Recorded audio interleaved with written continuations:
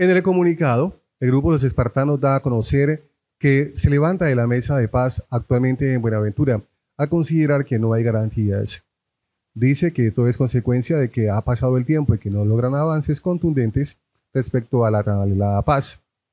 Ejemplo, la no vinculación con grupos distintos ni externos en la ciudad de Buenaventura, siendo ese uno de los principales acuerdos, las alianzas que están haciendo con la guerrilla del ELN, el grupo de alias Mono u Orejitas en el barrio San Antonio, perteneciente al casco urbano de la ciudad de Buenaventura y la zona de Córdoba, a las afueras de la ciudad. En el comunicado los espartanos dicen que han respetado todos los acuerdos, pero que están muy inconformes con algún actuar de las autoridades en el puerto, que se han concentrado en perseguir a los integrantes del grupo espartanos únicamente, especialmente en los barrios de Progreso, Carlos Olmes Trujillo, Caldas y Bello Horizonte, permitiendo sobre todo a la policía que se capturen integrantes del grupo espartanos y permitir el ingreso a esos barrios de integrantes del grupo Chotas.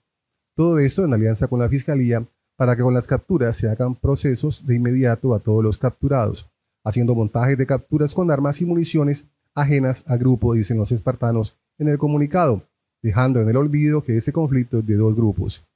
Decidieron entonces no seguir participando en la mesa de diálogo de paz en Buenaventura, porque sienten que es una pantomima para que el grupo Chota se arme, haga alianzas con grupos externos y totalmente ajenos al conflicto, y sobre todo amplíe sus terrenos y además trate de recuperar lo que ha perdido en la ciudad.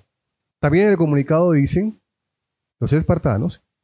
que están en la disposición de continuar, además también porque de una u otra forma tienen de su lado la justicia, que permite la dilatación y la ejecución de todos los procesos que se debían adelantar en contra de los integrantes del grupo Chotas, al igual que se hace en contra de los espartanos. Se levantan entonces de la mesa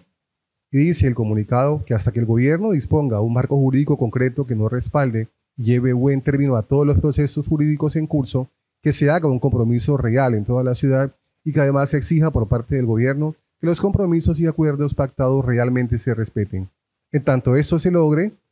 dice que podrán avanzar y analizar la posibilidad de volverse a sentar a negociar la paz en la ciudad.